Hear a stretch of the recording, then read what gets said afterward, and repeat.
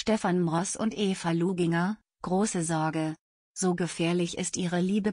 Die Sorge um Stefan Mross wächst und wächst.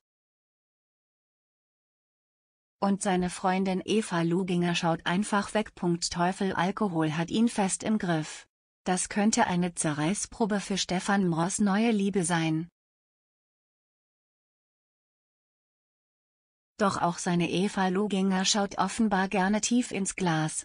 So präsentiert sie sich jedenfalls öffentlich. Wie soll Stefan da nur trocken werden?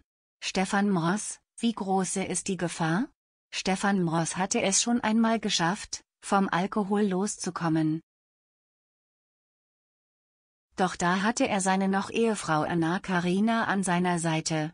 Seine neue Liebe Eva dagegen lebt nicht gerade abstinent.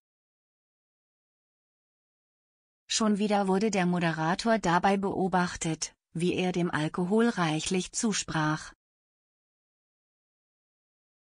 Während eines Auftritts von Eva in Geißenhausen, Niederbayern, genehmigte sich der Sänger ein Bier nach dem anderen. Das berichtet zumindest das neue Blatt. Warum nahm Eva den 47-Jährigen mit in das Konzert? An einen Ort, an dem er dieser großen Versuchung ausgesetzt ist. Sieht die 35-Jährige keine Notwendigkeit, ihm zu helfen? Und findet seinen Konsum gar nicht so schlimm? Nun ja, so überraschend ist das nicht. Eva trinkt selbst gerne eine Maßbier. Als Sängerin, die häufig in Bierzelten auftritt und mit Bierseligen feiert, scheint das ganz normal zu sein. Und für eine gebürtige Niederbayerin ist das Gebräu nun mal Tradition.